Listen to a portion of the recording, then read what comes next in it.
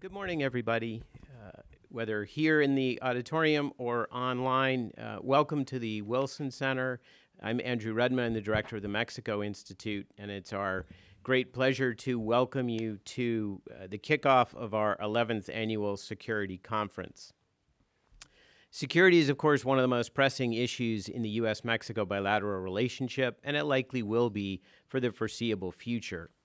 The 100,000 deaths from opioids in the United States, uh, primarily from fentanyl in the last year, makes drug trafficking a significant domestic issue. In Mexico, drug cartel violence, often using weapons procured from the United States, places innocent civilians in harm's way and undermines Mexico's ability to attract investment essential for economic growth and development. Addressing these and other related challenges which confront our governments and societies requires cross border collaboration. Our governments have committed under the bicentennial framework to such collaboration in recognition of the shared challenges. Just a note, we had hoped to have the opportunity to hear from senior officials from both governments this morning. Scheduling difficulties prevented that from happening today, but we're going to continue to, to be in contact with them and hope that we can do that sometime soon. When we talk about security, we shouldn't limit ourselves to focusing solely on drug cartels and cross border flows of drugs and weapons. It's equally important to talk about personal security for Mexicans, frequently identified as the number one concern of voters in the upcoming Mexican election. The high rates of impunity and of violence, including against journalists and against women, and rising reports of extortion impact the daily lives of Mexican citizens countrywide. During our conference, spread out over two days and combining in person and virtual platforms, we'll address both the international and the domestic aspects of security. Our speakers and panels will focus on the challenges facing both countries, separately and collectively, and on possible solutions to reduce or eliminate the threats to our peace, prosperity, and security. We'll kick off this morning with a presentation by Pablo Vázquez, Secretary of Citizen Security of Mexico City, who I'll introduce momentarily. Secretary Vázquez will provide a real time perspective on how Mexican public officials respond to the diversity of threats to public security. Following the Secretary's remarks, former U.S. Ambassador to Mexico and current Wilson Center Public Policy Fellow, Ambassador Earl Anthony Wayne, will moderate a panel on strategies to combat illicit trafficking. It's important to recall that the cartels and other criminal organizations will traffic anything for which there is an illicit market. We hope that in discussing several of these products, we can identify some commonalities of strategy and best practice. 2024 is, as I mentioned, an election year in Mexico and in the United States, of course. Tomorrow will be entirely virtual for a panel that will look at the security challenges facing Mexico's next president, whomever she or he may be. We sub- subsequently hope to host representatives of the campaigns to hear about their plans and strategies once the campaign officially begins, uh, effective this Friday, March 1st. In addition, we have several analytical pieces on security issues on our elections guide uh, website, which can be found at mexicoelections.wilsoncenter.org. Now, with apologies to our translators for switching in the middle, Es ahora mi gran placer de presentar al secretario de Seguridad Ciudadanía de la Ciudad de México, Pablo Vázquez. El secretario asumió su cargo hace seis meses. Previamente ocupó la titularidad de la subsecretaria de Participación Ciudadana y Prevención del Delito, desde donde impulsó la implementación de programas de prevención y reducción de la violencia como Alto al Fuego y Reconecta con la Paz. Antes de esta responsabilidad, ocupó diversos cargos en el gobierno federal, como encargado de la Unidad de Prevención de la Violencia y el Delito de la Secretaría de Seguridad y Protección Ciudadana del Gobierno de México, director general de Prevención del Delito y Servicios a la Comunidad de la Subprocuraduría de Derechos Humanos de la Procuraduría General de la República, y director de investigación y estrategias para la prevención social de la Subsecretaría de Prevención y Participación Ciudadana en la Secretaría de Gobernación. Antes de incorporarse en el servicio público, Maestro Vázquez estuvo al frente de distintos proyectos de prevención de lavado de dinero, identificación y manejo de riesgos operativos e inteligencia en el sector privado Tiene un licenciado en Relaciones Internacionales por el Instituto Tecnológico Autónomo de México, donde, si no me equivoco, fue alumno de nuestro vicepresidente Duncan Wood. tiene también una maestría en política criminal por la Escuela de Economía y Ciencia Política de Londres y cuenta con estudios de especialización en delincuencia organizada en Sicilia y Macedonia. Su bio completa está disponible en la página web para este evento. Con esto, secretario, bienvenido en forma virtual al Wilson Center y adelante con su presentación. Thank you very much for the introduction. I will switch briefly to Spanish. Just wanted to thank the Mexico Institute and the Wilson Center for the invite and all the attendants for sharing your time to uh, uh, listen and, and to comment on what Mexico City has done in terms of security in the last five years with a strategy that I will re refer briefly that was first implemented uh, by Dr. Sheinbaum, now uh, one of the candidates to the presidency, and that it's being continued now by, by the chief of government, uh, Martí Batres, uh, and a strategy that was implemented in close connection with the government, the federal government, and of course, local governments. I'll, I'll switch to Spanish. Um, I, I, want to thank also and, and congratulate myself and, and the rest of the panelists uh, for this for this session. Kathleen, Austin, Jim Vivenzo, and of course Raúl Benítez, a dear friend and and and mentor. It's an honor to share the panel and also thanking uh, Duncan Wood. I was indeed, in fact, his student uh, back in the day in the ITAM. Me voy a referir entonces rápidamente a la estrategia de seguridad que se implementó en la Ciudad de México, solo como siempre confirmando que se pueda ver la, la pantalla. Sí, podemos verlo. Gracias. La estrategia de la Ciudad de México, eh, que diseñó, como decía en su momento la doctora Claudia Sheinbaum, consiste en cuatro pilares principales expresados en la pantalla, quizá en su versión más sencilla y didáctica, y me referiré a cada uno de ellos y después presentaré algunos resultados que se han obtenido. El primero es el que referimos comúnmente como atención a las causas. Es un pilar eh, que va un poco más allá de lo que se ha trabajado generalmente como prevención del delito. Es un pilar que cree, en primer lugar, parte del convencimiento de que muchos de los problemas delictivos, sobre todo de la eh, perpetuación de problemas delictivos a lo largo del tiempo, tienen que ver muchas veces con factores estructurales, con desigualdad, con exclusión y con la falta de acceso de las personas a servicios y programas que les permitan o les permiten garantizar derechos, entre ellos el derecho a la justicia.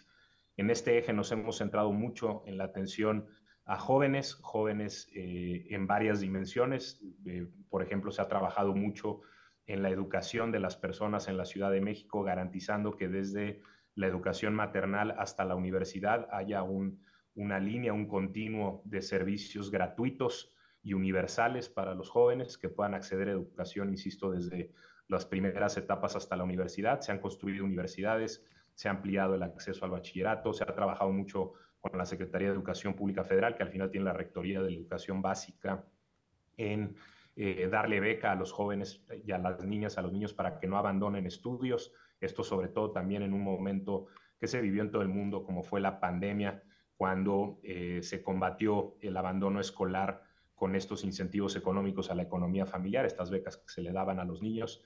Eh, se ha eh, puesto en marcha un sistema de educación comunitaria, que son los pilares donde se puede acceder a eh, educación técnica, a formación en oficios, que no necesariamente es educación académica, son instalaciones de, de, altísima calidad, de arquitectura muy buena, que están presentes sobre todo en barrios con altos índices de marginación e inseguridad y distintos programas que van dirigidos eh, ya de manera más focalizada a jóvenes en altos niveles de riesgo, eh, con mucha evidencia, informados por mucha evidencia. Uno es Jóvenes Unen al Barrio, que es una transferencia monetaria a jóvenes para que se incorporen a distintas actividades. eh, otro que este lo coordina específicamente la Secretaría de Seguridad Ciudadana y es impartido por policías, que se llama Reconecta con la Paz. Es lo que se conoce en inglés como un Pre-Trial Diversion Program. Eh, lo que hacemos es que en vez de que vayan a juicio los jóvenes, cumplen una medida en libertad para no ir a juicio justamente después de haber sido detenidos por delitos menores y trabajamos con ellos con intervenciones cognitivo-conductuales para desmovilizar violencia y abatir reincidencia. Este programa en específico, con una evaluación de impacto que tenemos, nos ha permitido establecer que, los chavos que han entrado a Reconecta tienen una probabilidad 10 veces menor de reincidir delictivamente que el mismo grupo de jóvenes o un grupo estadísticamente similar de jóvenes que no entró a este programa. En fin, son muchas iniciativas que, insisto, buscan eh, abatir la exclusión, abatir la desigualdad, eh, dar eh, programas, servicios informados por evidencia que le permitan a la gente ejercer derechos. Sería la forma, digamos, más sintética de ponerlo. Lo siguiente es el eje de más y mejor policía. Este es un eje de desarrollo institucional que puso mucho de su acento en la construcción o en el fortalecimiento de la policía de la Ciudad de México. La corporación que tengo el honor de encabezar cuenta ahorita contando la policía preventiva, que es la policía regular que todo el mundo ve en la calle y lo que llamamos policías complementarias que proveen servicios eh, bajo contrato o bajo convenio. Es una fuerza de 86 mil personas aproximadamente. Eh, quizá el elemento eh, más importante a destacar aquí es que como nunca antes en estos cinco años se pudo subir el ingreso de los policías, aumentarles el sueldo de manera significativa.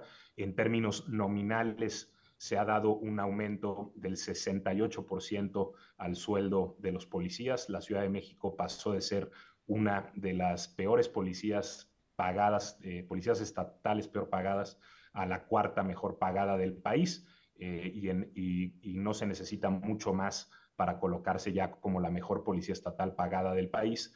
Eh, había un rezago importante, sobre todo considerando el costo de vida en la Ciudad de México en términos de salario pero se han hecho otras cosas, se ha batido el déficit de personal, se ha mejorado el proceso de reclutamiento, se ha mejorado la capacitación continua a los policías, se han diseñado dos perfiles de ingreso a la policía que no se tenían, eh, que tiene que ver con el siguiente eje de la estrategia, que es tener el perfil de ingreso regular, el perfil de investigación e inteligencia que no se tenía y ahí se pide un nivel de educación mínimo de licenciatura y también al haber recibido el sistema penitenciario tenemos un perfil de ingreso de especialista en custodia penitenciaria.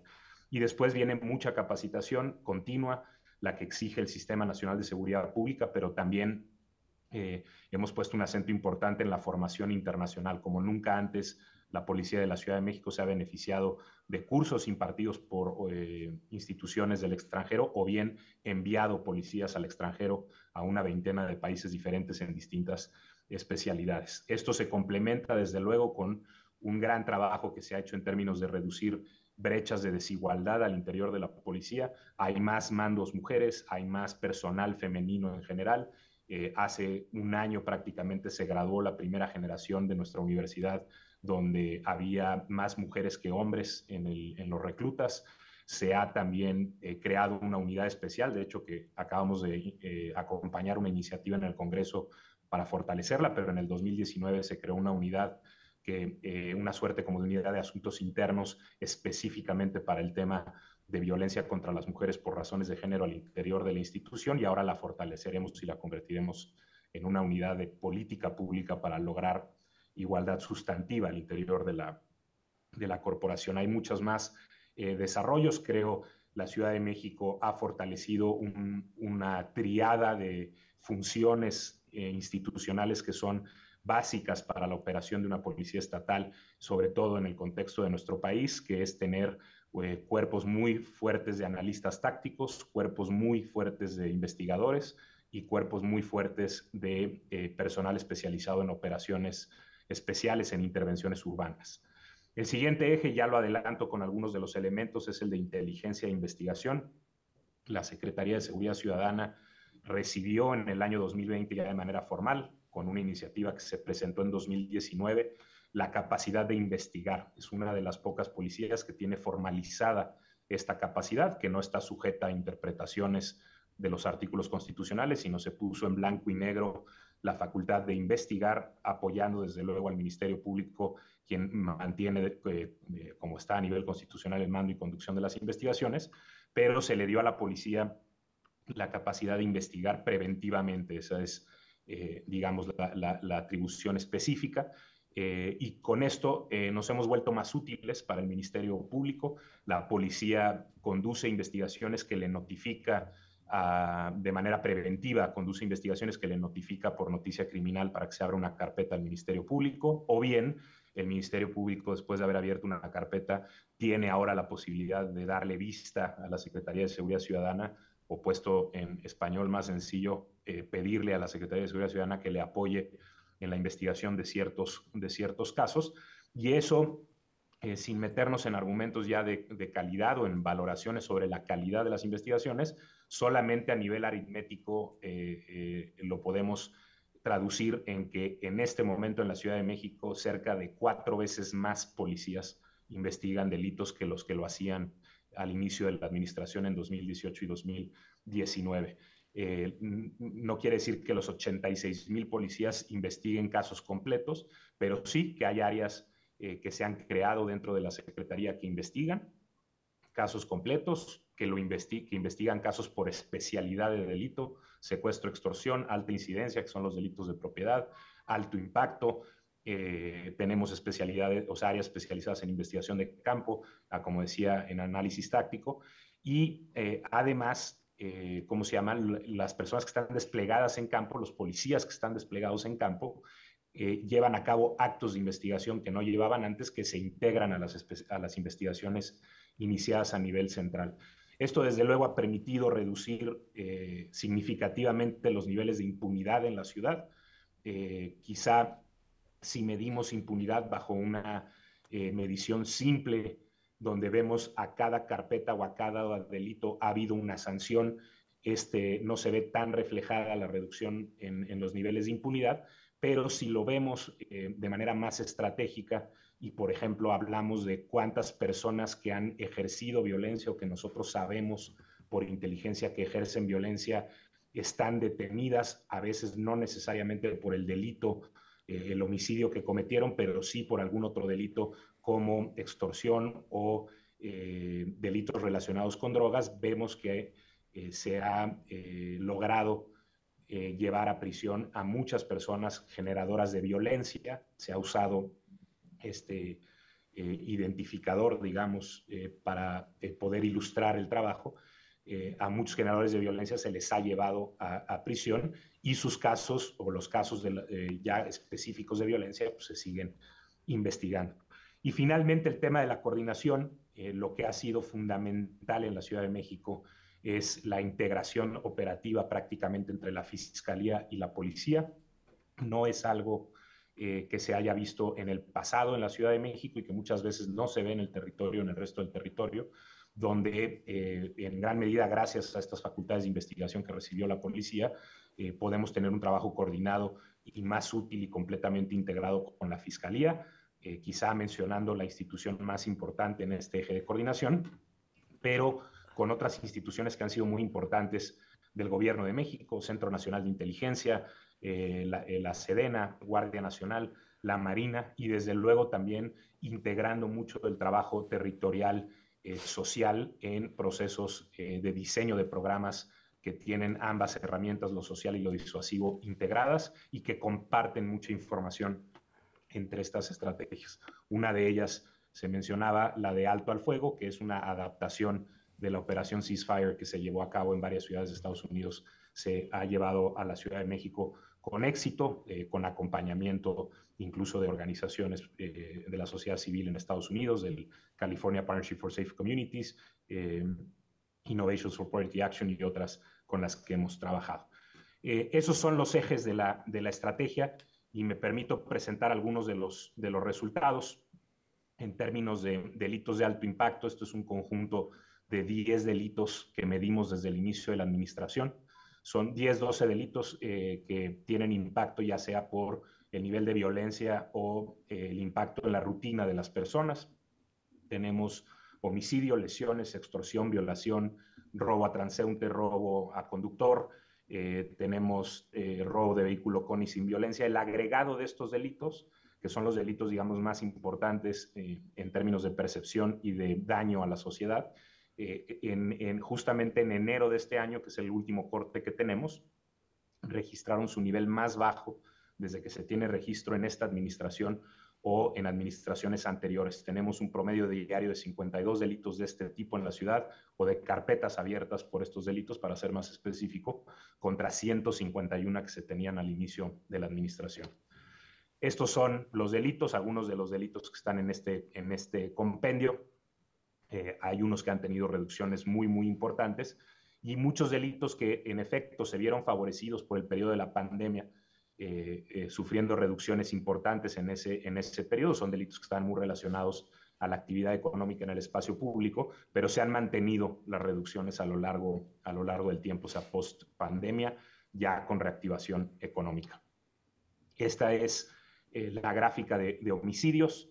es una, una reducción contra enero del año, de este año también, comparando enero contra enero de 2019-24 de 58%, pasamos de casi 5 homicidios en promedio diarios al inicio de la administración a 2, que es el promedio diario que hemos mantenido sostenido ya desde hace varios meses. Enero de 2024 fue el cuarto mes con menos homicidios de la administración. En 2022 se tuvo un mes eh, incluso menor, con 1.6, y ese mes eh, es, el, el, más bajo eh, empatado con alguno que se tuvo en años previos, eh, por ahí de, 2005-2006.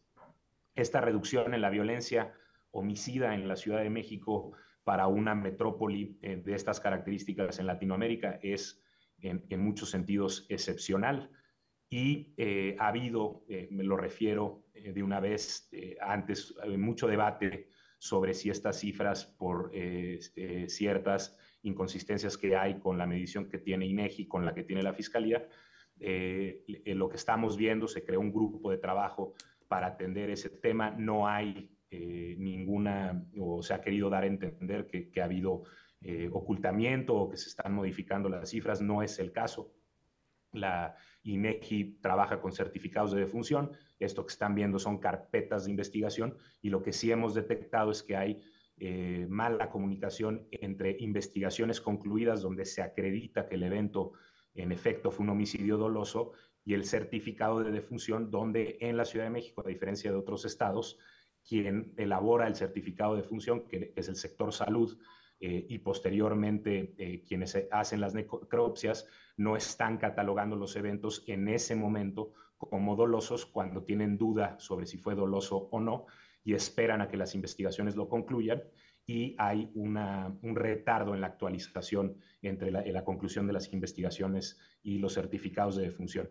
Pero son eh, dos mediciones que miden cosas distintas. Unos son carpetas de investigación, los otros son certificados de defunción. Eso explica muchas de las discrepancias y en ambos casos la tendencia se sostiene. Son, eh, dejando un poco el detalle de las magnitudes, tenemos en la Ciudad de México en los últimos años una reducción eh, eh, muy, muy importante después de haber venido de uno de los periodos más violentos en la historia de la Ciudad de México, que es el que inició con el ascenso en, el índice de homicidios en 2016.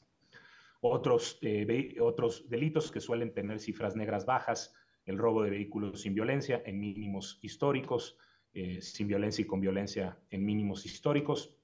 Y finalmente, algo que nos permite eh, eh, a nosotros ver reflejado el trabajo y darnos cuenta de que, no eh, que, los registros oficiales tienen un eco en lo que percibe la gente, pues es el, el, tema de percepción de seguridad en la ciudad, que si bien en términos absolutos hablar de que poco más del 50% de la gente sigue percibiendo inseguridad y eso nos, nos invita a seguir trabajando de manera ardua, eh, bajo la medición que hace el INEGI, la ENSU, la encuesta de seguridad urbana, al inicio de la administración estábamos hablando de que cerca de 9 de cada 10 personas en la ciudad se sentían inseguras. Eh, esto se ha reducido a 5 de cada 10 en los últimos años. Esto, desde luego, en, en consonancia con la reducción en las carpetas de investigación. Lo mismo ha sucedido con la victimización. Si vemos el último dato que se tiene de victimización del ENVIPE, que es el referente a 2022, Vemos también una tendencia a la baja en los últimos años en la victimización. Quizá eh, este es el dato de incidencia delictiva más sólido que puede haber, donde se dirime si hay o no cifra negra. Obviamente las magnitudes cambian por lo mismo, pero eh, al preguntarle a la gente si ha sido víctima de delitos en los últimos años, vemos que 2022 está reflejando los niveles que se tenían en 2012 eh, en esta encuesta, que son los más bajos que se tienen desde que se levanta la encuesta de victimización del INEGI. Lo mismo en términos de prevalencia de incidencia y de prevalencia delictiva medido por la encuesta de victimización. Eh, como decía, se han tomado distintas medidas eh, importantes para atender el tema específico de la violencia contra las mujeres por razones de género. Hay una reducción en feminicidios.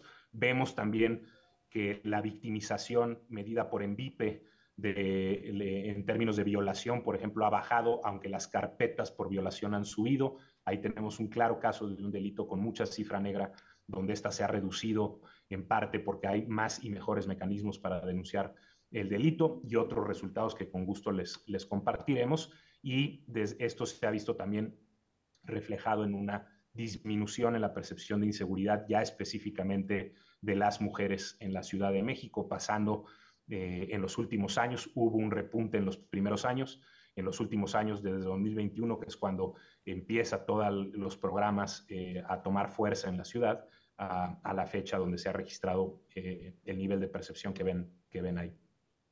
En síntesis, una estrategia de cuatro pilares interconectados entre ellos, eh, con una apuesta muy importante a la investigación que ha podido eh, ofrecer estos resultados y que exige de mucha continuidad para eh, poder mantener y profundizar lo que, sea, lo que se ha logrado.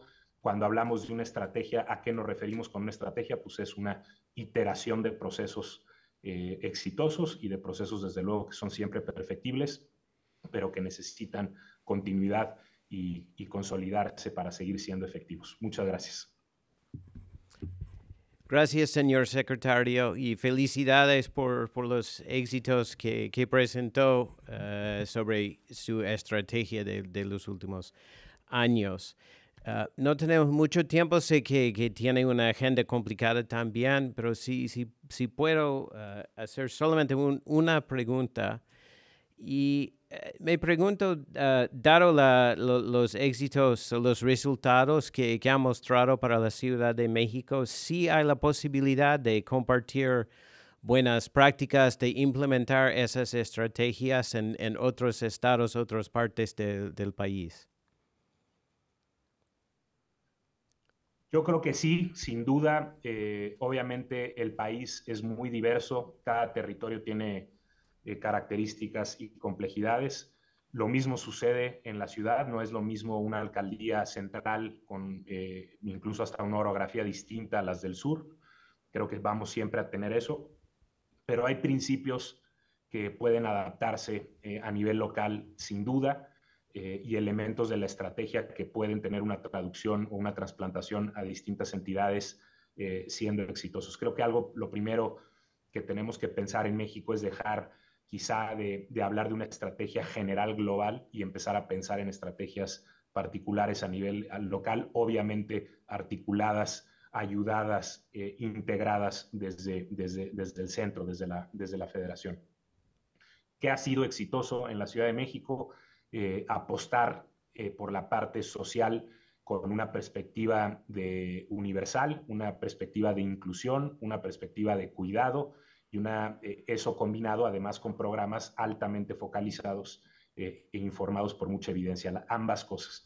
Eh, digamos, la lógica detrás de un estado de bienestar combinado con una lógica de focalización muy puntual en lo social, creo que ha sido muy, muy útil.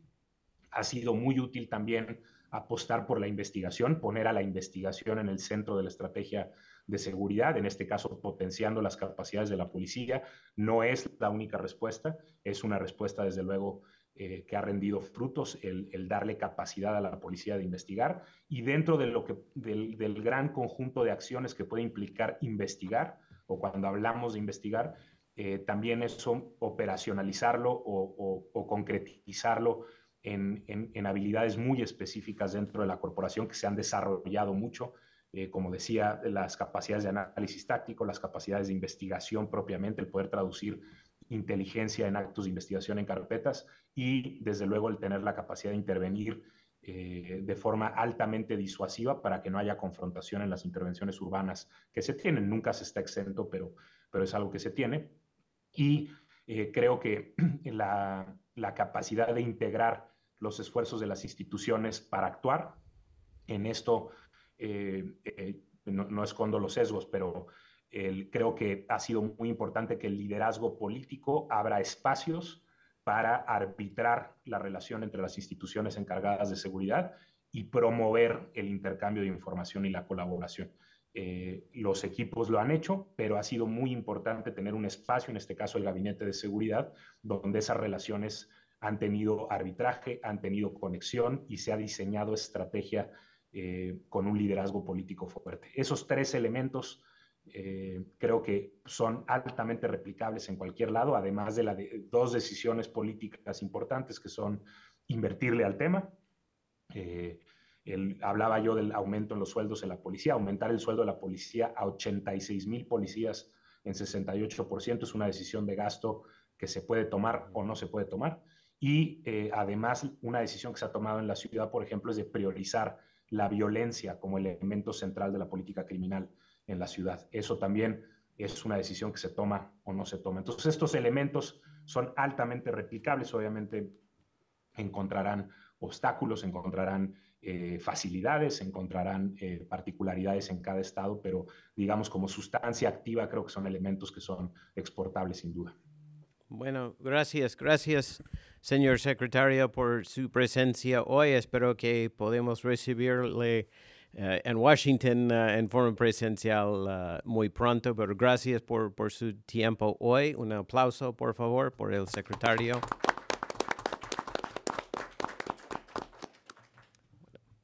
Gracias. And now it, it's my pleasure to. Gracias, gracias. Hasta luego.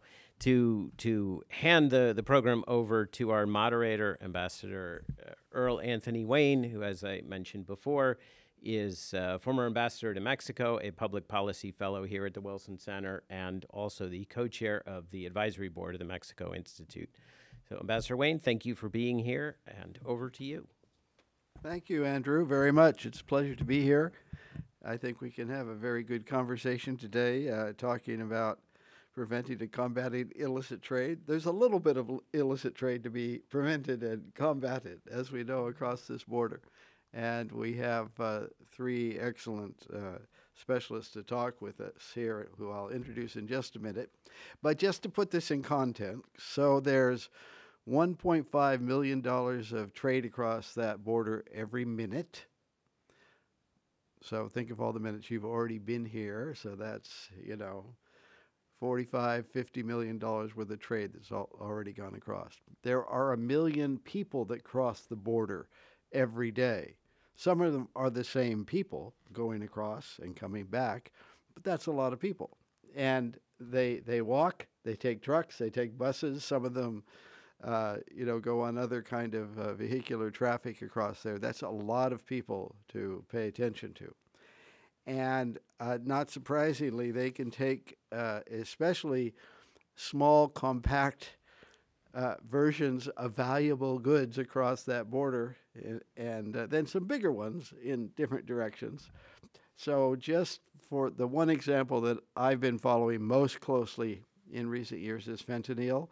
So, between fiscal year 2018 and 2023, the amount of fentanyl seized at the U.S. Mexico border was up 1,300 percent and it, it was not all front packed. If you look at the last three fiscal years, FY 21 through 23, it was up 241%. And then if you say, okay, well, Mexico and the U.S. set up a high level security dialogue, it had to get going and stuff, um, you know, but now they have good cooperation, so this should be going down. Well, it actually rose. The amount of fentanyl seized at the border was up 84% in the la- between the last two fiscal years. So clearly, uh, a lot of people are still moving fentanyl to the border, and I'm sure they're moving a lot of other things to the border that we don't we do pay attention to, but this is so deadly that we pay close attention to it. And we're going to hear a little bit about the money flows also. It's been estimated that the sales of these drugs in the United States make between 20 and 30 billion dollars a year.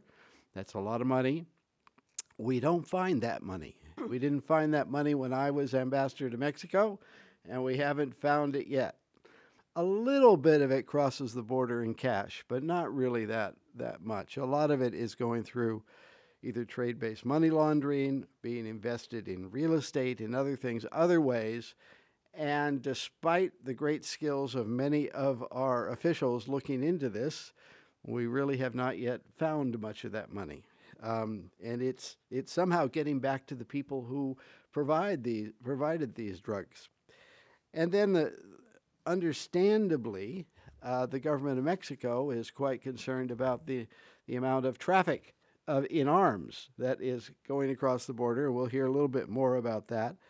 Um, and the U.S. and Mexico have, have finally restarted trying to collect data on this. It, it started during the Obama years and then really broke down for a while, and they're now looking at it more closely. So we'll get to hear a bit more about this. But about 50 uh, percent of the arms seized were made in the United States, and another 18 percent were put together in the United States from parts that came from elsewhere, according to the data so far assembled by the two governments as they look at that.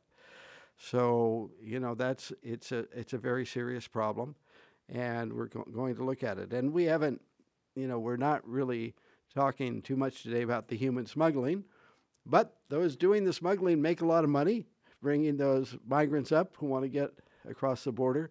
And then the cartels quite often take a cut of that when they get to the border in order to pass through their territory. They take a little cut also, which uh, is again illicit funding for illicit tra- traffic that's going back and forth on the border. So, in any case, there's a lot of, of importance that we can talk about today. I think we have with us virtually Dr. Raul Benitez Manaut, who's uh, with us from the, he's a professor and researcher at the North American Research Center at UNAM in, in Mexico City. Thank you, Doctor. Gracias por su presencia con nosotros. Uh, we have Kathy Lynn Austin, who is executive director of the Conflict Awareness Project and joins us from California. Welcome on this side of the, the continent. And we have Jim Vivenzio, who's a senior counsel at Perkins Coie. Uh, is that Coie, Coie. Coie, President Coie. Okay, and he is he watches very closely the flows of money, money laundering, other kind of flows, and and so we're looking forward to learning uh, from them all as we go forward. So we'll I'll invite everybody to make an initial presentation, and uh, then we will have a, a discussion amongst us, and then we'll take some questions. So let me, let me start off by our virtual participant who's joining us from Mexico City, uh, doc, Dr. Benitez. If you'd like to offer some thoughts, I think you're going to talk a little bit about fentanyl flows, if I understand correctly. Eh, buenos días, eh, embajador. Muchas gracias por presentar. Agradezco mucho la invitación de Andrew Rudman, director del Mexico Institute del Woodrow Wilson Center, por la oportunidad de regresar a mi alma mater en Washington. Yo estuve en dos ocasiones como Public Policy Scholar ya hace mucho tiempo, en el 1998 y en el 2003, y me siento muy identificado con toda la trayectoria del instituto y felicidades por, por el trabajo que hacen. Eh, yo quiero continuar el sentido de la charla que el, que el embajador Wayne eh, estaba mencionando sobre eh, México-Estados Unidos en época de campaña electoral y con el problema que identifica dos grandes temas conflictivos en la relación, que es el de migración y el de las drogas. Y en el de las drogas, principalmente el tema del de, eh, fentanilo por la parte norteamericana y una preocupación defensiva del de, eh, gobierno mexicano sobre denuncias de vínculos de, con el narcotráfico de autoridades eh, mexicanas. Los años de campaña, los meses de campaña, porque son años en México, la campaña empezó el año pasado, en Estados Unidos también de forma informal, eh, están llevando a una polarización temática y discursiva, como es natural en las campañas electorales en todos los países, pero esta polarización también se traduce en una polarización eh, binacional. Estados Unidos eh, tiene por, por muertes de, de drogas químicas eh, metanfetaminas, cristales y fentanilo, más de 100 muertos al año. México tiene por víctimas de la violencia producida por los carteles del narcotráfico más de 30 mil víctimas por año. Es exactamente, demográficamente, la misma eh, cantidad de afectación cuantitativa. Eh, Estados Unidos tiene tres veces más habitantes que México, entonces tiene tres veces más afectados por el consumo de fentanilo. El peligro es diferente porque uno es violencia con balas en la calle y el otro es eh, afectación al cuerpo humano de personas débiles que consumen el fentanilo, pero el efecto social es el mismo. Ahora bien, el año pasado, eh, el, año 2023 fue el año del fentanilo, para la diplomacia bilateral. Se constituyó un comité binacional este, eh, de, de, tratamiento permanente que lleva seis reuniones eh, desde que se constituyó hace un año, y hay un, equipos burocráticos que están trabajando de forma cotidiana con el tema del fentanilo, con el tema de las armas y, con el tema de las acusaciones de corrupción. También a este, eh, este digamos, acuerdo binacional México-Estados Unidos se agrega China, que China había negado ser parte del problema hasta que China va a la reunión de Los Ángeles este, y acepta el diálogo con Estados Unidos y acepta parte de la responsabilidad. Pero para China es un asunto diplomático. China no tiene problemas de consumo de fentanilo. Eh, para China es un asunto de control de empresas que fabrican el químico. Y el argumento chino es que muchas de esas empresas son empresas de otros países, son empresas transnacionales, incluso americanas, europeas, etcétera, farmacéuticas, químicas, privadas que producen el químico ilegalmente y lo exportan en, en envases legales. Y luego se agrega Canadá con una, con una afectación parecida a la de México y Estados Unidos, un poco menor, de consumo de fentanilo, este, 9 mil muertos, eh, este, pero eh, por el tamaño de la población de Canadá, que tiene 40 millones de habitantes, es la misma proporción. Entonces tenemos un nuevo problema con el tráfico de drogas y que se está abordando eh, este, por los candidatos pero con más fuerza en los candidatos estadounidenses a la presidencia. Bueno, tenemos otro problema que es el endurecimiento del discurso, como ya lo fue hace cuatro años, del candidato republicano probable, que es el expresidente Donald Trump, que eh, es un candidato que sus temas de campaña los hace muy estruendosamente polarizando y entonces está otra vez activando el discurso eh, culpando a la migración ilegal de todos los males de Estados Unidos, pero principalmente del sur. Pero Donald Trump tiene aliados y, el principal aliado es el gobernador de, Texas, este Greg Abbott, que es más duro que el propio Trump en sus discursos y, en sus acciones para el control de la frontera. Y aquí el tema es que la frontera tiene cuatro estados en Estados Unidos, un estado muy cooperativo con México, que es California, pero un estado muy negativo a cooperar con México, que es Texas.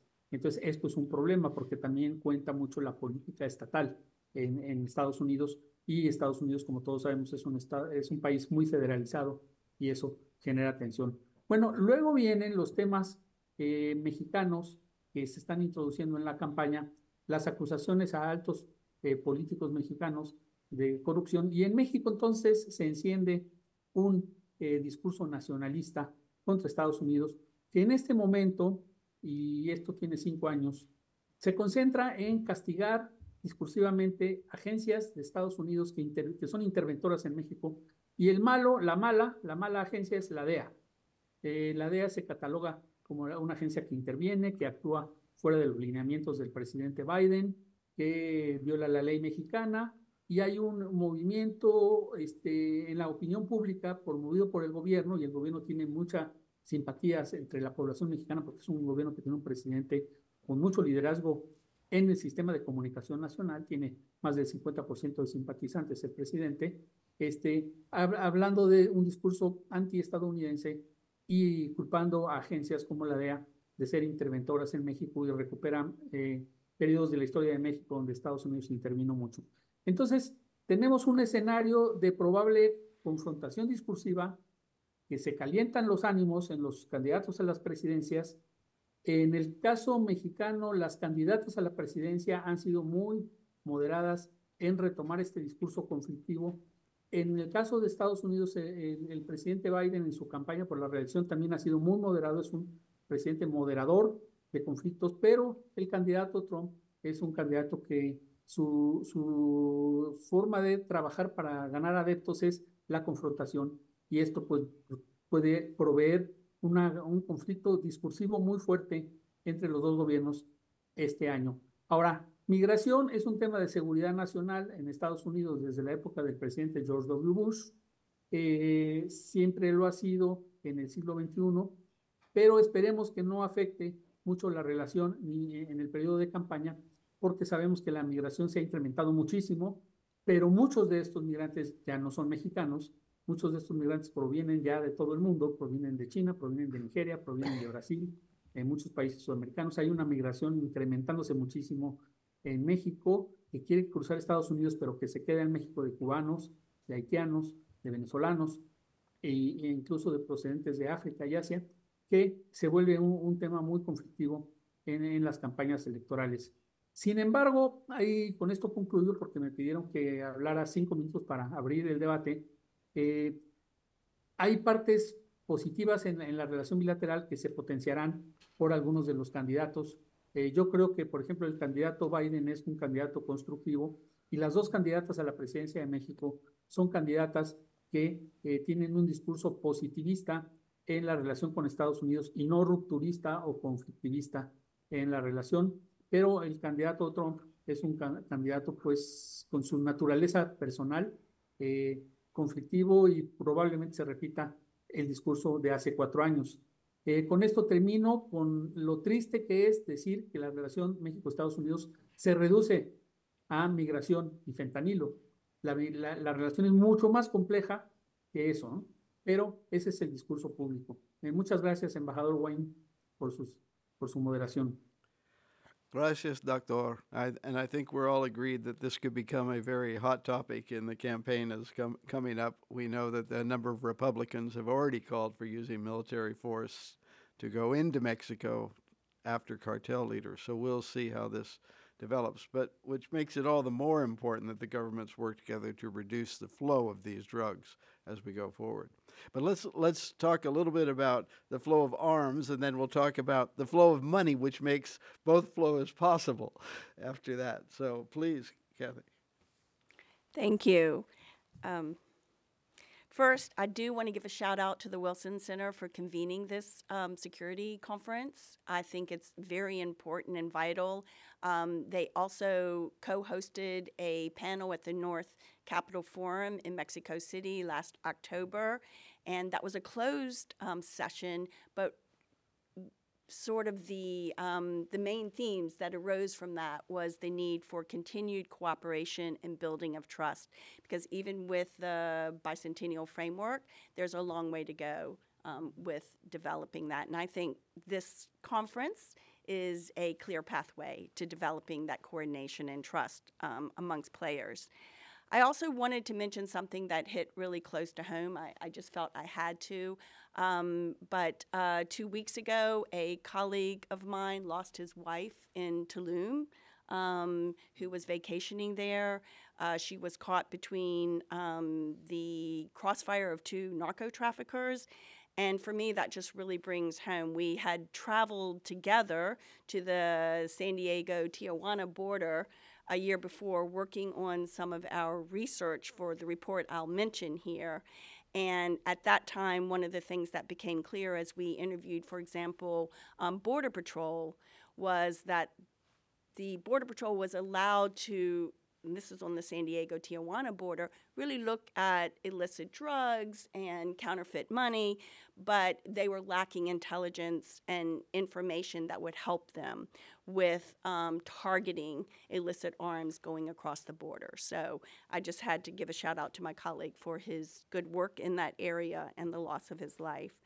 Um, and then I wanted to mention that um, I have produced, uh, co authored a report um, w- under the auspices of the Pacific Council um, for International Policy out in Los Angeles. And just to correct the ambassador, I have moved back uh, to the East Coast, so I'm now living uh, not far from Richmond, Virginia. Um, so it's kind of nice to be back home and also to have more access to the Hill and to others that are really working um, tirelessly on this issue of trying to reduce illicit trade in U.S. guns to Mexico. Welcome back. Thank you. It's really nice to be back. Um, in the report that I co authored, um, which is called the US Mexico Double Fix, because there's clearly both countries have to do a lot um, in order to meet the challenge. Um, I think we often think of US guns going to Mexico and the impact, but there's clearly other areas that are of concern um, in the security realm, and that is the diversion of weapons in Mexico from security forces and also the involvement of security forces using a lot of the guns that are exported from the US. So there are two sides, right, to this problem, and it's not just the um, impact of U.S. guns to Mexico, although that is uh, one of the predominant um, concerns. Um, so, in this report that I co-authored, there's 30 recommendations for all stakeholders, including governments, all the way to the gun industry and civil society. Um, so, I'll only be able to give a like few highlights here in the sort of few minutes that I have. Um, but I think what has already been done well is the framing of the issue um, the stakes that are clearly involved here. And those stakes, as we know, include not only drug trafficking abuses, but also over, um, overdose deaths in the United States. There's also the undermining of legitimate government authority in Mexico, and that is clearly what this firepower from the U.S.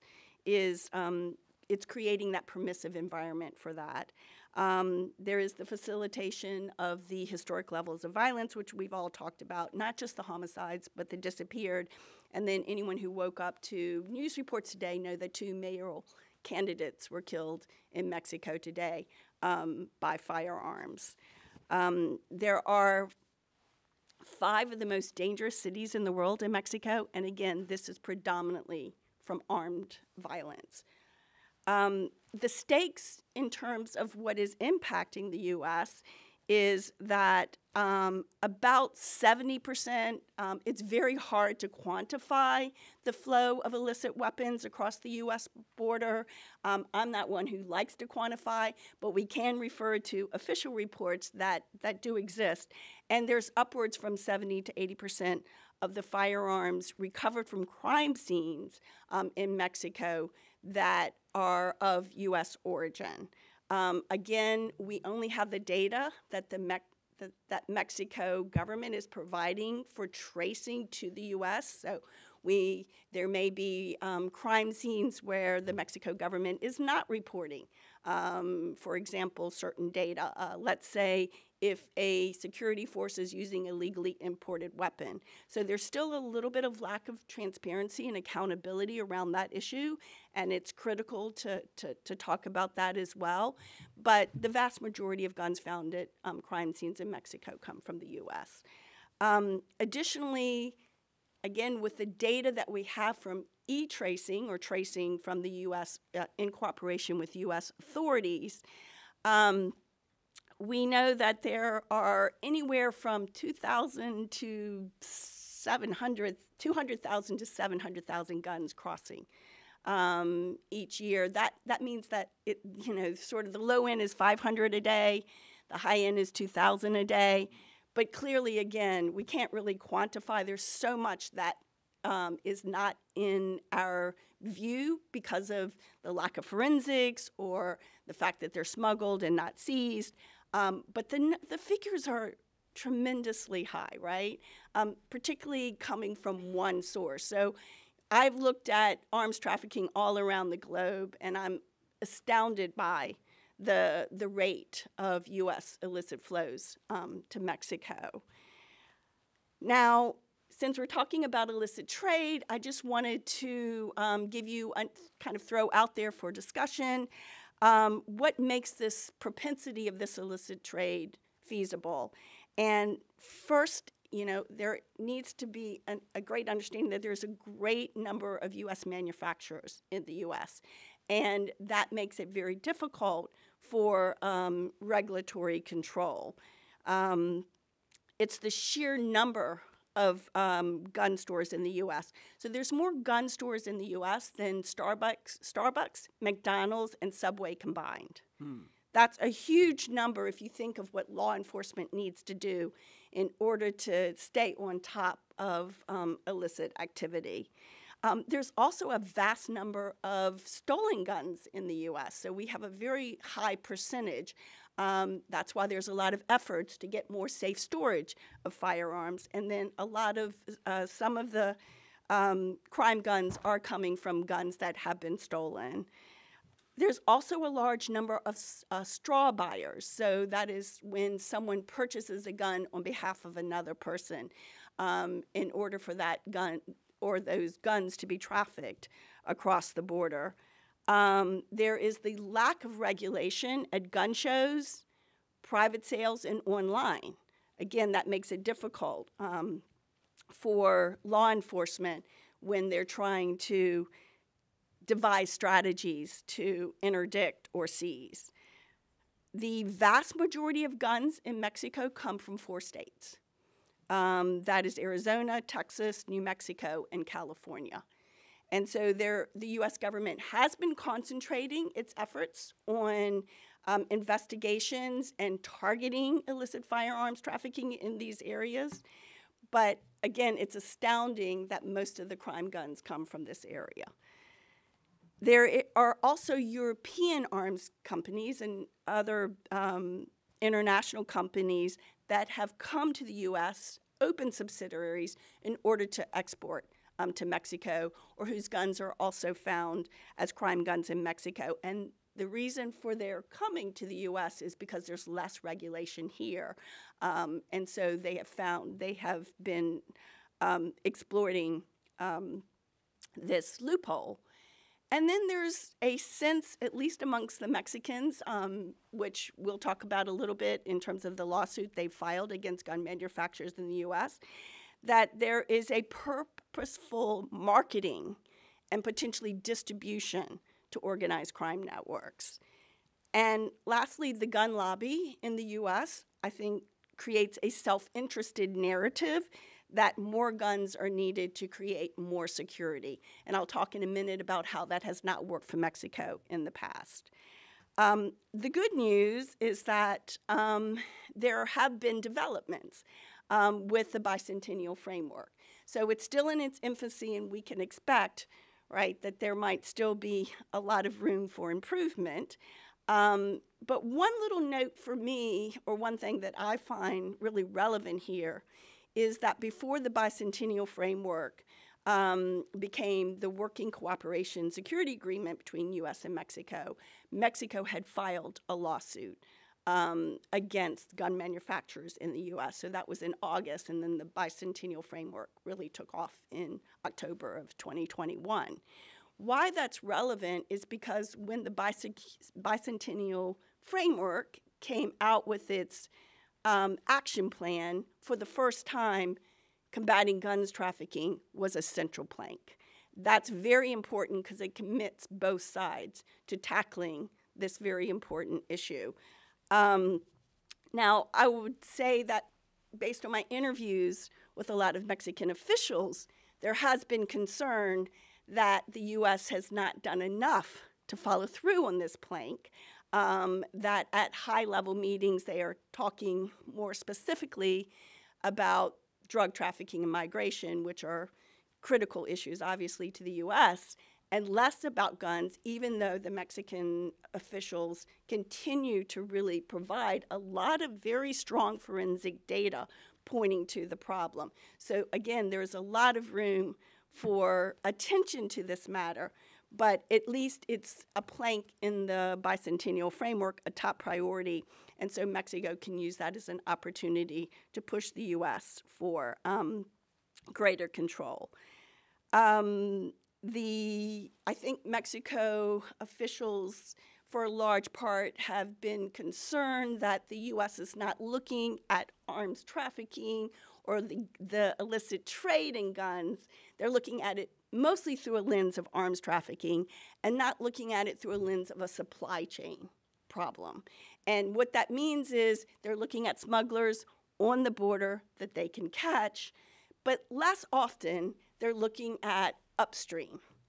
And the concern has been, for example, when there's political will, or I would say when there is political will, um, the US, for example, has been pushing Mexico um, to go after and has even created a larger, like, um, international approach to looking at the precursor chemicals that are being used to produce fentanyl.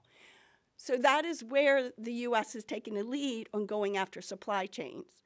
But the fe- feeling and the sentiment, um, what I find in Mexico, is that the US is not doing enough of the same to go after its own original sources of the weapons, and that they're very similar to what we've experienced with the opioid um, problem, that often the gun manufacturers and dealers and suppliers know when their weapons are going downstream.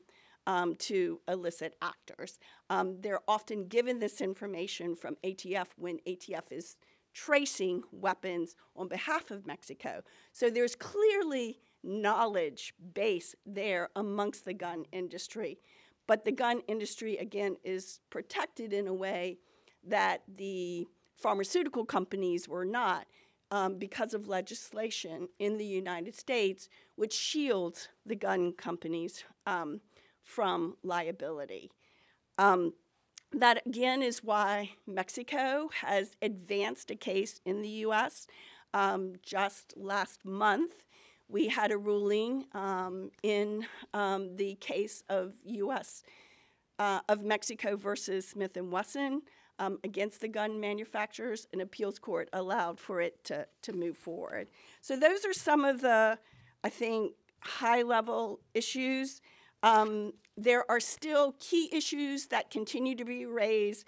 They are the need for more extensive tracing, um, the need for the U.S. to clamp down on assault rifles, rifles and particularly 50 caliber rifles, which are found more and more often. There's a lack of uh, federal firearm licensees inspections in the U.S., which is also a problem that um, should be surmounted if there, this problem is going to be addressed. There's a need for more targeted border inspections. Currently, there are only targeted inspections at um, key ports of entry, but not all. Um, there's a need under the bicentennial framework for metrics. Um, neither side is really working with metrics to demonstrate how they can show that they're making progress on this issue. And one of the key things that I've found um, on both sides of the border is that there's a lack of understanding of what the jurisdictions and the functionality is of all the various different agencies that are addressing the illicit um, trade, and that some form of mapping would be useful. Thank you very much. Okay, Jim, tell us a little bit about all this money that's flowing around invisibly. Sure. Uh, can, can everybody hear me okay? Great. Um, so, uh, my name is Jim Vivenzio, and I uh, spent uh, 32 years uh, with the Office of the Comptroller of the Currency, and I was their uh, director for BSA AML policy. essentially, I spent my entire career, all 32 years, when I was in government, in the uh, fraud and AML space. So I've really seen how this area has just continually evolved, especially with technology. Uh, you know, and now we're getting away from cash into virtual currencies, and um, it's it's really been a, a, a, fascinating process to to see. Um, and uh, with regard to anti-money laundering, the one thing that I've also seen is it's like the flow of water. It, it goes to the point of least resistance you know, where the, those financial institutions that have the weakest controls are the ones that are impacted. Um, I came to Washington in 2000, right before uh, 9 11, and uh, saw the uh, uh, the growth and expansion of the anti-money laundering laws uh, in, into the terrorist area, terror anti-terrorism area, um, and was involved in drafting those regulations. My perspective on Mexico as a bank regulator is um, you know there is a, a, lot of cooperation going on between the, the, the, the federal banking agencies and, and the Mexican uh, uh, banking agencies and, and, and that's that went on throughout my entire career and it was very impressive um, the level of, of communication and cooperation. Um, but uh, throughout my, my regulatory career at the OCC um, you know, there were very impactful events that occurred concerning, you know, you know Mexico and the money laundering typologies. Uh, between 2008 and 2012, uh, there were enormous enforcement cases that were brought against some of the biggest money center banks, um, you know, involving uh, accounts uh, with uh, some of the Mexican financial institutions, and the penalties, uh, you know, involved in those cases were unprecedented. It went into the billions of dollars.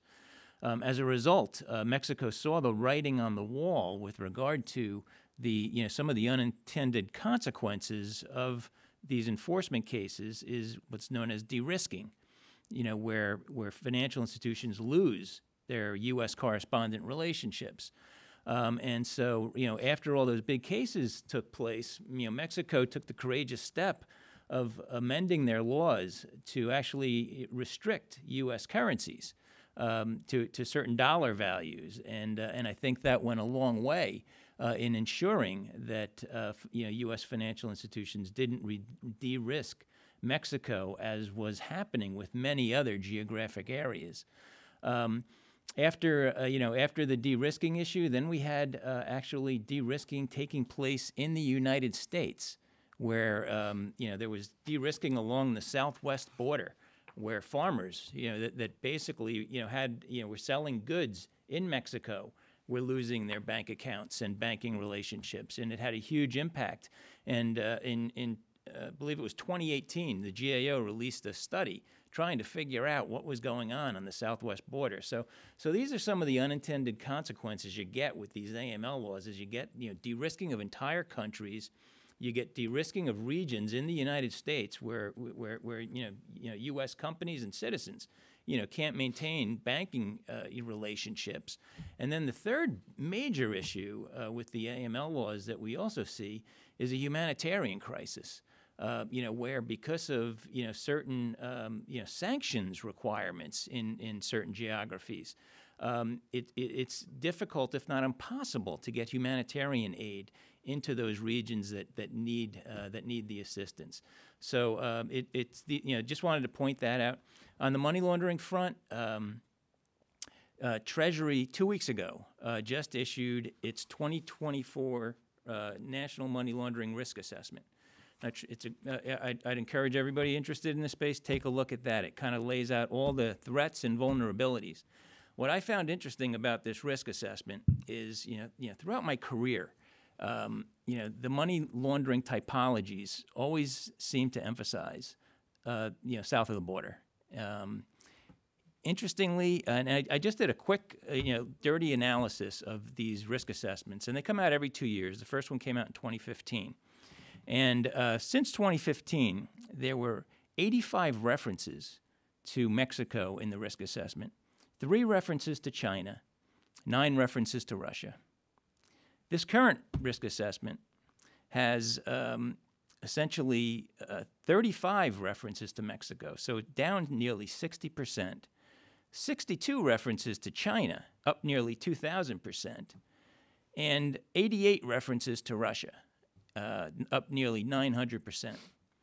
Uh, so, you know, and that's in a nine year time period, you know, and, and, and I, I found that interesting because it clearly shows you know, a, a change in focus uh, of, of uh, you know, the Treasury Department that issues this, uh, Financial Crimes Enforcement Network, um, you know, to, to focus more on a, on a more global perspective to, to money laundering, because that's really what's happening right now. Um, you know, China is involved in, in the fentanyl trade. Uh, this report indicates that the chemicals and the manufacturing uh, uh, you know, tools are being shipped from China to Mexico, and, and the fentanyl is being produced in, in, in Mexico and then coming across the borders. Um, the report also indicates that there's also terrorism. Uh, there have been, uh, you know, attempts by known terrorists to also cross the border through these this human smuggling that's that's taking place by these criminal uh, or organizations. Um, so, uh, so I, I, you know, I, I, wanted to point that out. Um, the, the, the, the risk assessment also gets into, you know, the main threats, and the threats it gets into are the are, are frauds, corruption, drug trafficking, cybercrime, the money laundering networks professionally, uh, human trafficking and smuggling, ta tax crimes, and wildlife and nature crimes. Second section gets into the vulnerabilities and the risks, including cash, financial products, legal entities, virtual entities, uh, compliance deficiencies, luxury and high value goods, casinos, gaming, and, and entities not covered by AML requirements, including investment advisors, payment processors, attorneys, and accountants. Interestingly, uh, this risk assessment has five pages just devoted to attorneys, and I thought that was that was that was interesting. The previous one from 20, uh, 2022 uh, essentially devoted one paragraph to attorneys. So uh, it looks like there's going to be some regulation forthcoming, but I, I just want to end uh, by pointing out a lot is happening right now in my area in the AML space.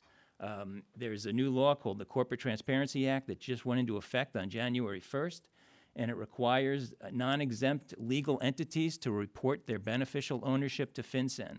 Um, it's a it's a huge undertaking. If any of you in the room own a, a, a limited liability company, you've got to file these reports by uh, by January 1st of next year. Uh, there's also going to be uh, a, you know, FinCEN just proposed uh, this past month, I should say within the past two weeks, proposed rules to regulate investment advisors to, to, to you know, essentially address the money laundering risks taking place through you know, you know, you know basically private equity. Um, there's also been a proposed rule the past month, past few weeks, uh, in real estate transactions uh, that involve cash that, that's going to require the settlement agents to understand, you know, who, you know, you know and, and, and, and report, you know, who, who are the beneficial owners behind these real estate transactions. Um, you know, there's FinCEN also proposed a rule in the antiques and, and, and antiquities area. You know, you know the, the final rule hasn't come out yet, but um, you know, there's so much happening in this space. Um, you know, to to close the gaps and and prevent um, you know these uh, you know these money launderers uh, and identify them uh, you know when the laundering takes place.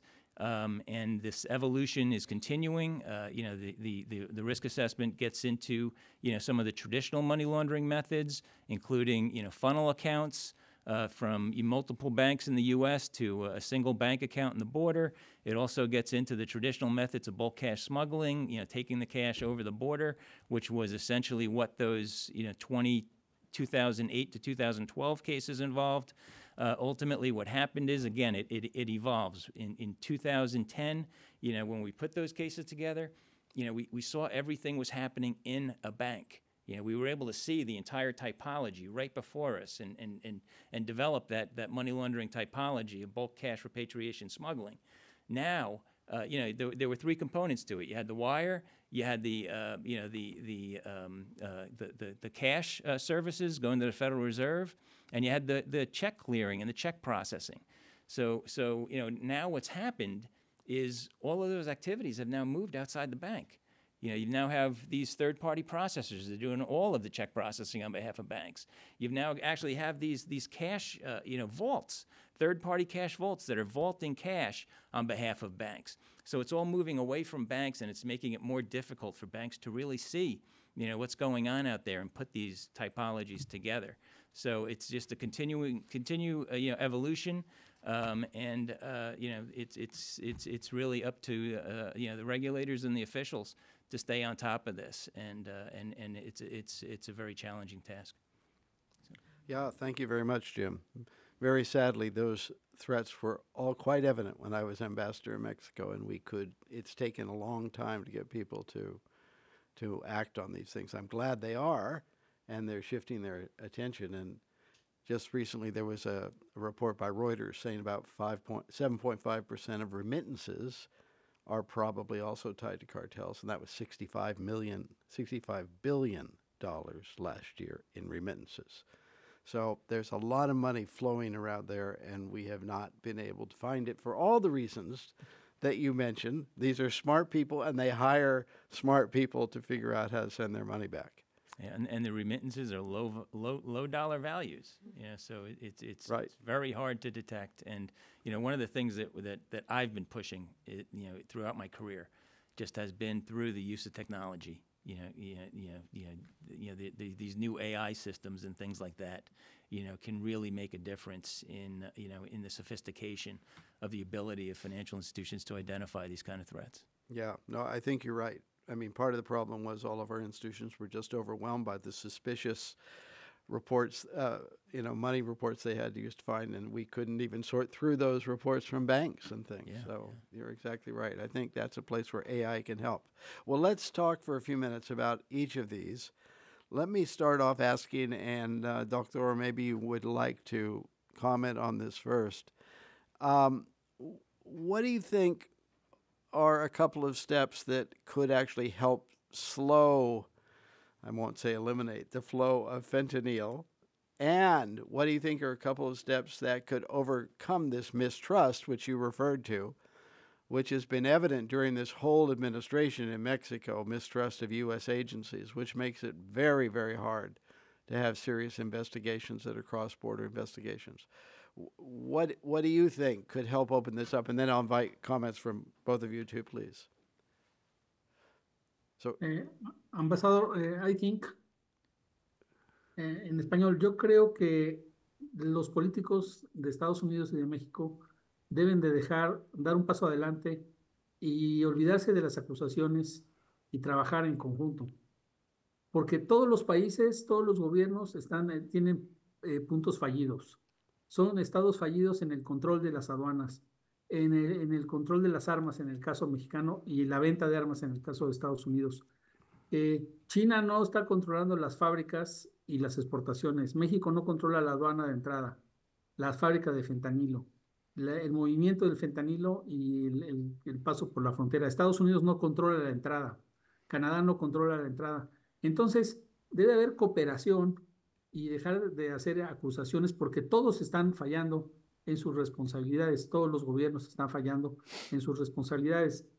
Y el problema del fentanilo es que es mucho más fácil transportarlo que la cocaína o que la marihuana o que cualquier otra droga, porque las pastillas son muy chiquitas y las puede cargar cualquiera. Y, y en las fronteras, muchos este, estadounidenses y mexicanos llevan pequeñas bolsas de, de- de fentanilo en, en la bolsa de su ropa y no es detectada por, por, este, por las aduanas. Los perros eh, que huelen drogas en las aduanas no están funcionando porque las pastillas se empacan con el, el empaque de, de aluminio de las medicinas. Hmm. Entonces, en vez de estar acusándose unos a otros, Estados Unidos a China, a México, México a Estados Unidos, eh, etcétera, de- debe de, de implementarse este control y las agencias de los gobiernos tienen que tener más cuidado en la divulgación de acusaciones. E- Eso es lo que yo creo, embajador. Okay, gracias. Eh, Either of you like to sig- make some comments on, on that question? Two or three steps that could help deal with fentanyl flows and could rebuild cooperation, trust, let's say, that we have, we have a little bit rebuilt, but not as much as we need to do. Just something to point out um, with the illicit uh, trade in guns and drugs, I find that there is, um, in both countries, there has been a predominant um, tackling of this issue from a law enforcement perspective. And so, one of the ways that I think could um, sort of move both sides further is to look at it more from a national security perspective, more of an intelligence gathering, um, more of a sort the U.S. likes to use the word whole of government approach, um, but I do find kind of in both of these areas that it has been largely um, predominantly um, law enforcement rather than at a higher critical level where I think um, things could become more useful. Um, and then the other issue is just really resources. I think the U.S. sometimes has felt that it's provided a lot of resources to Mexico in the past, and that has led to some um, sort of misplays with the kingpin strategy, with the militarization of public security, and when it came to guns, the kind of sting operations and gun walking, Fast and Furious, for example, that didn't work. Um, and so the emphasis now is can we build more also at a subnational level, at a granular level, but at the same time, high level intelligence um, sharing and coordination. Yeah, you know, you know, one area that's been very effective in the anti-money laundering space is the de- development of, of an international group known as the FATF, or the Financial Action Task Force. And the FATF actually evaluates every country every 10 years and gives them a rating as to the strength of their controls, AML controls. Um, and uh, you know, and, and it's been very effective because those countries that are designated by FATF as having weak controls, you know, really have problems, you know, economically and globally in in in, in getting uh, you know their their you know correspondent banking relationships and things like that. In fact, you know, some countries when they're designated, you know, U.S. banks can't provide them with services, and it, and it's and it's been very very effective. And I, I you know I, I, think that that type of global coordination here is necessary because, like you know, as I pointed out earlier, this isn't just a, a, a Mexico problem. This is a global problem. Uh, you know, the, these supplies you know are, are, are coming you know, from uh, you know from other areas, and, and, and this has to be addressed and tackled on a more global basis, from my perspective. Similar similar to the to the, to the use of you know an entity like the, the the FATF that does in fact go out there and and and examine countries. In fact, the U.S. is being examined again next year. The FATF examiners are coming in and they're looking at you know all U.S. industries and how effective the controls that, that the U.S. has in place. And when we get dinged by the FATF, that's what results in change. And that's that's the reason why we, we've got these these new investment advisor rules. You know, the FATF has identified that as a deficiency in our in our program. The real estate rules, the FATF identified that, and and it, it proved to be a, a very effective mechanism. I agree. It has. I used to work on that, and yes, I agree fully that it does. The problem is when some countries are less enthusiastic about actually applying the recommendations that, that are made. Um, shifting a little bit to uh, to what you were saying, Kathy, about the lack of mat- metrics and action plans, which is true not only for arms, mm-hmm. but it's true in the entire mm-hmm. high-level security dialogue process. Very sadly, they only they agreed on objectives. They never agreed on actual specific action plans or metrics for doing this. But let me ask a, a, more basic question. You talked a lot about what the U.S. isn't doing. So, why doesn't Mexico actually check cars coming into the United States? There's no checks on the Mexican side of the border to try and find these arms. Why is that? And that has gone on. I raised it when I was ambassador, so over 10 years ago. And the Mexicans have not have it. They're very serious about complaining to us, but they're not willing to put people on the board, their side of the border to actually check. Why is that? Very good question. And that question is often raised at the technical level on the border. Um, so when I have been interviewing Border Patrol, um, that they feel sometimes the onus is on them. And why can't Mexico do more? Because it is, after all, the guns impacting Mexico. But clearly, the number one answer to that question is a resource issue. The U.S. has far more resources to apply than the Mexican government does. Um, there is also the concern around corruption and the co opting of security forces on the border. So, internally in Mexico, um, there's concern about what security forces will be effective in um, actually monitoring the border. Um, so I think those are kind of the, the critical issues, the resource issue. The U.S. has far more. Um, but again, it is we- weapons that are coming from the U.S. that you know the U.S. has a responsibility in terms of getting better control over its supply chain, and then on the Mexico side, um, I think there is some granular level cooperation on the borders, but really there is um, a lack of um, attentiveness, and then also with the migration issue being so overwhelming. Um, and that a lot of the security apparatus being used to address the migration issue um, which the U.S. has um, basically asked Mexico to take on that issue for a large part, um, is a reason why Mexico hasn't really extended a lot of these resources um, at the border. Well, I just have to add. Yeah. I think you might know, we offered actually to pay for scanners on their side of the border, and they refused to accept it. That's right. Because of There's that mistrust that the doctor mentioned earlier, Mhm. coming from the current government in Mexico. Absolutely. And then there is a lot of technological improvements that could be there. It's the lack of trust, as we mentioned, the lack of cooperation in this area. But there are also other global actors involved. So, China wanting to put scanners at the border or provide technological improvements. So, I think there's a lot more than just Mexico refusal, but also Mexico having other actors and stakeholders that um, the U.S. needs to be concerned about as well. Okay. They actually turned down the China, they did not buy the did, Chinese exactly. scanners at the border, though they might have some imports already. Um, okay, so what, what would you like to see as the, the, the focus for, for really getting a better handle on all this money that's flowing around? I mean, there are a bunch of different initiatives going on that are very important.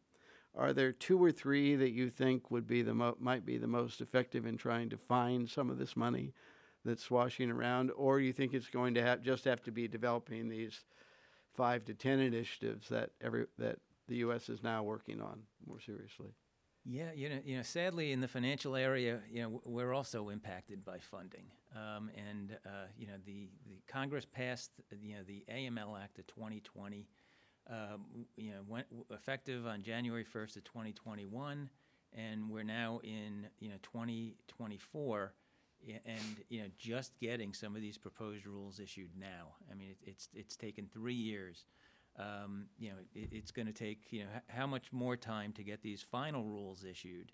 Um, and, uh, you know, and, and so that's, that's been a big problem, has been, you know, funding of uh, the Financial Crimes Enforcement Network um, so that they can essentially get these rules out quicker. Um, and, uh, you know, a- there, there's a lot going on. There are going to be a lot more f- proposed rules coming out um, you know, under the uh, AML Act of 2020 um, that are that are that are important for this entire framework. Um, and yet, uh, you know, it's it's already been you know three years since uh, enactment, um, and you know we're still waiting for the final you know for these final rules to come out. So it's a funding issue. Um, I, you know, I, you know, assuming all of the rules that that are contemplated in the AML, AML Act of 2020, you know, ultimately come out, and it's, it's working as it should, um, I, I think it'll, it'll go a long way in, uh, you know, addressing, you know, many of these, you know, financial areas and vulnerabilities and things like that. Um, you know, the, the, the, the new challenge that's coming up is, is in the, you know, decentralized finance and virtual currency space. Um, and the AML Act also addresses those areas, and FinCEN's, you know, also coming out with new rules. Uh, they, they just issued a proposal uh, with regard to uh, tumblers and mixers um, that would require uh, an entire new reporting regime on the part of, you know, virtual asset service providers that will re- require them to report any transactions in the virtual currency space that touch a mixer. Um, and they just came out with that rule proposal in, in October. Uh, and, and, a mixer is essentially a, a mechan- uh, it's a, a con- uh, uh, I should say, a smart contract or a, a, a method of uh, obscuring the source of virtual currency. You know, so somebody can basically, you know, s- you know, submit their virtual currency into a mixer, and um, you know, the that that individual who who's, who put it into the mixer, uh, you know, is then completely anonymized with regard to where that virtual currency goes. So it basically, you know, takes takes a chunk of virtual currency and then dis- disperses it, um, you know, in multiple ways to obscure the the ultimate, you know, uh, so, you know, wh- where those funds are going.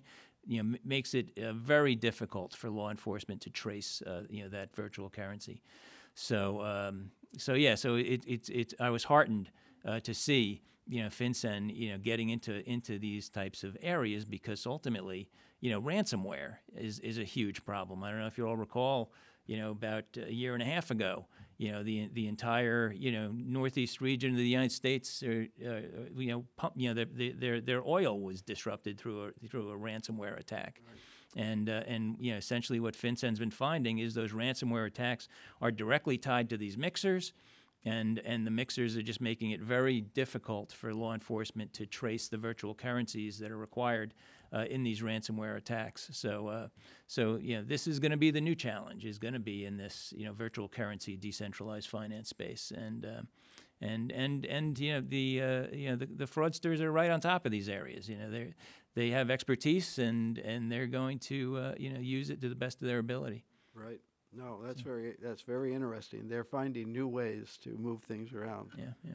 And one thing we haven't mentioned yet tonight, but I- I mean today, but just to mention, is the use of sanctions that the Biden administration has started over the last year and a half of more vigorous use of sanctions in fentanyl supply chains. They just issued a set of sanctions on human smuggling and transportation, including bus companies and other companies, um, which is another tool that they have, but it takes work. Also, OFAC has to get the do, all the homework to develop sanctions, and then you have to apply the sanctions. So Yeah. it all takes a lot of work and takes people power to get it to get it done. Are there any questions from the audience, um, either the virtual audience or the in-person audience? Embajadora. I have a question for Mr. Vivenzio. Is it uh, feasible or to think about the possibility of eliminating cash and then making every transfer of money being recorded? Uh, i- i- is it is it feasible? You know, yes, it's feasible, um, but the big problem is the privacy component. Um, you know, for there to be a, a national virtual currency, um, uh, you know, there's there's you know th- there's the fear that you know the government is going to be able to see every one of your transactions. Um, and so, you know, that's one of the challenges that there are these, you know, the, currently there are these groups that are that are looking into trying to figure out if, if it's possible to have a, a, you know a national virtual currency, um, and uh, you know you know whether or not there could be some sort of an encryption, you know, that would essentially block the the ability uh, to see through uh, the transactions on, on the part of the government, and, and apparently they've got the technology to do that, but the encryption um, slows down the transaction too much. So the technology isn't there yet that would enable a national virtual currency to be, uh, you know, private. And that's, I think, I think that's where this is going, and that's what folks are working towards is trying to, to figure out a way to, to encrypt virtual currencies, and and, and, and and then there's also the example of, of, of China, you know, where, where China does have uh, like a national type virtual currency, um, you know, but uh, but but folks are, are concerned about how that's being used uh, to um, you know to in But, terms but, of but what's wrong with the government looking at all your transactions? What's wrong with that? That's the only way to find out who is doing illegal things. Yeah, well, that's that's that. Yeah, there, there's been a history of privacy in this country. Um, you know, in 1970, I believe, almost 50 years ago, uh, almost half a century ago, um, there was a law passed. Uh, it was called the Right to Financial Privacy Act.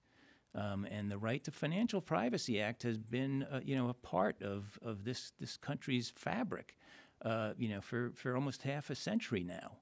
Um, and people expect a, a level of privacy with respect to their financial transactions.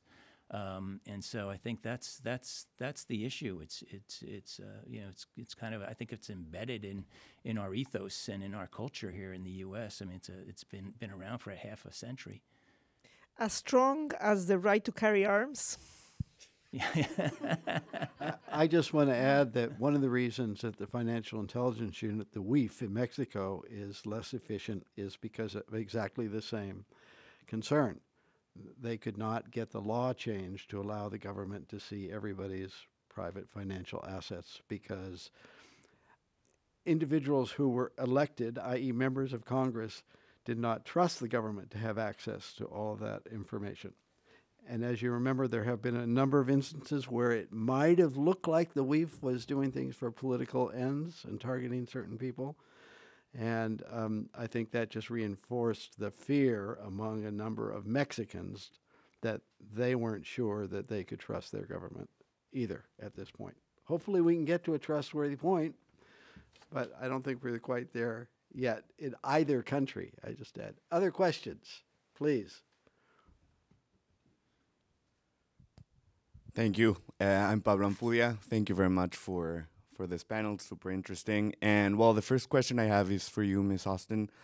And well, despite the existence of several uh, frameworks, the Merida Initiative, the Bicentennial Framework, we continue to observe heightened levels of violence, drug consumption, uh, overdose, etc.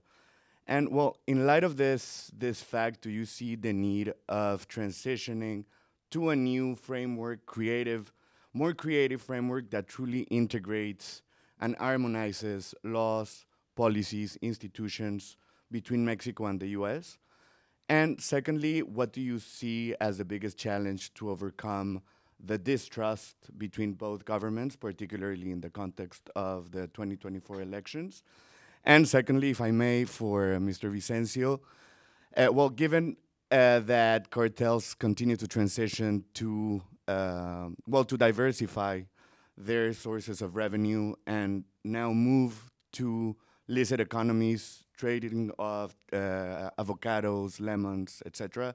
Are there any mechanisms to trace and tackle, well, that money and, well, impede that it ends up in the cartels' uh, pockets?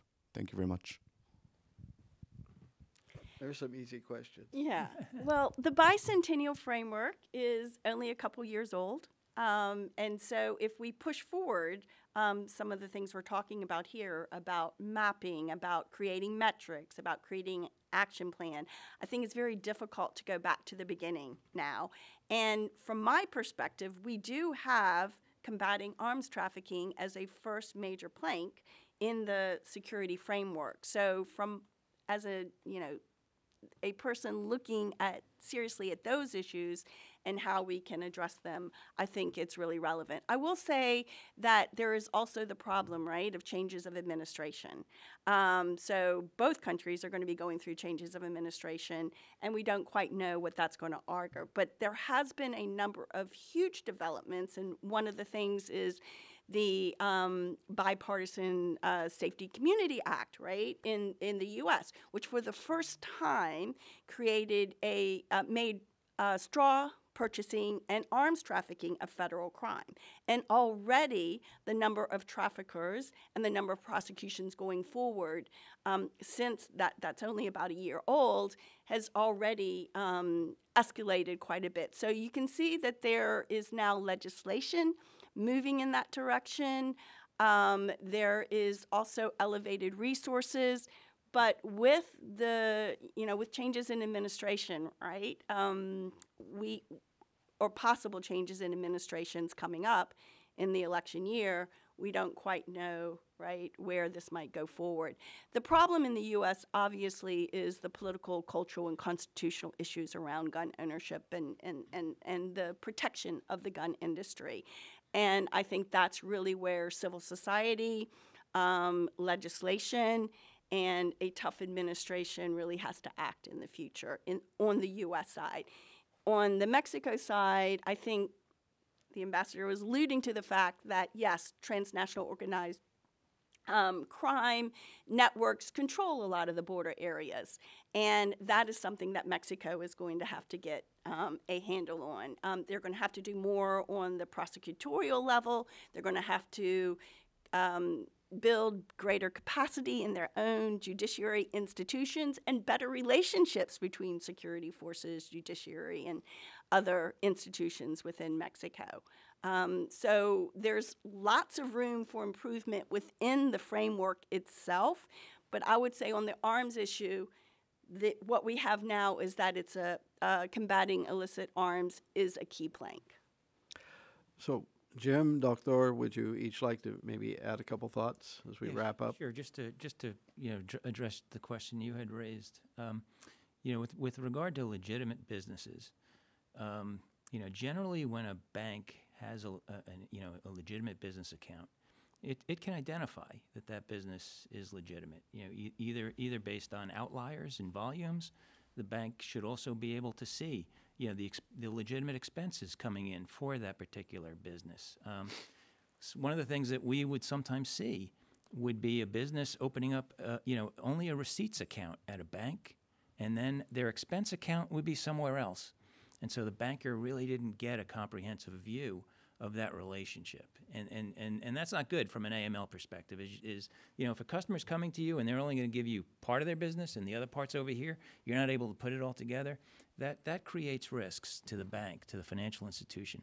The other thing we also saw was we saw legitimate businesses that were essentially hijacked by the, the fraudsters um, through threats that if you don't launder our money, um, you know, there's going to be harm uh, to your to you or your family. Um, that was another big problem uh, that we sometimes identified, uh, you know, uh, you know, in uh, when I was in government. Um, and then the third thing I'll just point out is, you know, this new law that was just passed, the Corporate Transparency Act, that requires reporting. Doesn't just require reporting of domestic corporations, but if you are a foreign business and you register to do business in a particular U.S. state, um, you also have to file a beneficial ownership report with FinCEN, uh, so that you know essentially you have to disclose your ownership to uh, to the federal government. So I, th- I think that's going to help. Um, you know who's behind these these entities. Uh, you know are are they legitimate entities, um, as opposed to what we saw with the Panama Papers, where you had all these shell companies and, and nobody was able to figure out what was what was happening with these entities. Yeah, I think you're right on there, Jim. Doctor, any closing thoughts you'd like to share with us? Ah, yeah, eh, I want to talk about the, the, the organization of the criminal uh, groups. The the um, the strategy of the both governments to try to, to dismantle the organizations uh, by the leaders is, is not working very well because they work as a business company and uh, they have many different parts of the organization. And this, uh, we can see this during the, the, the, COVID crisis. During the COVID crisis, the, my, the migration issues uh, were stopped. The, the, we don't have any people move, uh, moving from Guatemala to the United States. And the criminal organizations goes to the extortion, business activities in Mexico City, etc., etc., etc.